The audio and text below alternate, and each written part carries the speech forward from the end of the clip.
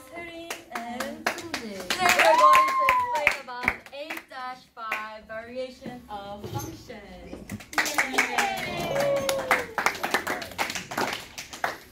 So, so um, there is four kinds of variation functions.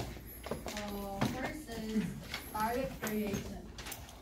So as you can see here, y varies directly as x and there is some non-zero constant k such that y equals k times x. k is called the constant of variation. So if we can sum up in here, if y increases, the x also increases at the same time, and if the y decreases, the x also decreases. So y and x they varies with direct relationships, so they go together in Wow. each way. Okay, Okay, so um, This kind of function is called very direct variation. So here is the example of this um, function. So as you can see here, so y vary y varies directly as x and x. So it's like this, and when x equals five, y equals minus 15 so it should be like this. And then um, if we use values that follow if and then this uh, kind of function came up. And then k is equals minus 3 so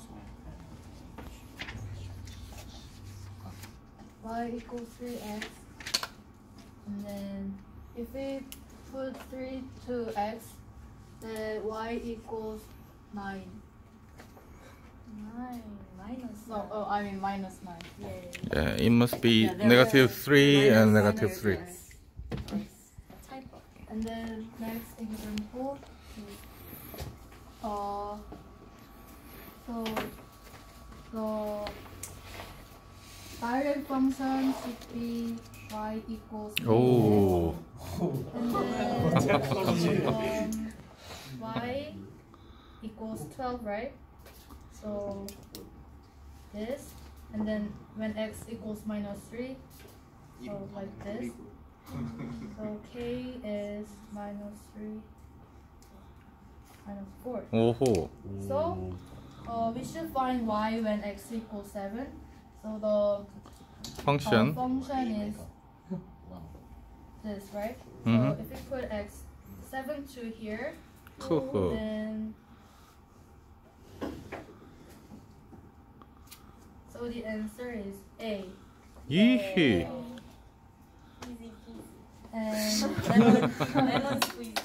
and next variation is joint variation. So this function this looks like this. And y varies jointly as x and z if there is some non-zero constant k such that y equals kx um that so uh it's uh this is similar to direct variation but it has uh more uh, unknown variable. uh, variables right so this is the example of joint variation. So the parent function of joint variation is y equals k x z. And then uh, when x equals 10 and z equals 5, so it should be like this. Oh, oh. no, no. It's gone. It's gone. it's gone.